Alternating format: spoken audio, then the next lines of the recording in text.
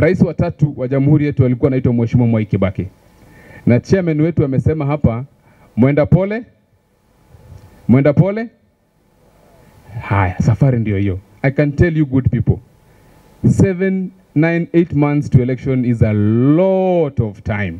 It's a lot of time, na sisi tunajipanga meugua na magara gatheta huko sisi tu mta- mtashtukia tu mtaona huko and we want to walk this journey with you.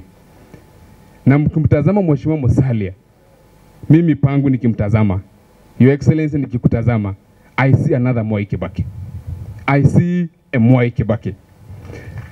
Kiongozi ambaye ataleta nchi yetu pamoja atasongesha uchumi wetu mbele. Kiongozi ambaye hana maneno ya fitina.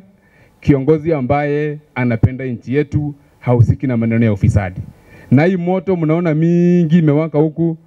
Kuna mzee mmoja Mkikuyu aliniambia ndukanamakio ni mwaki wa nyeki.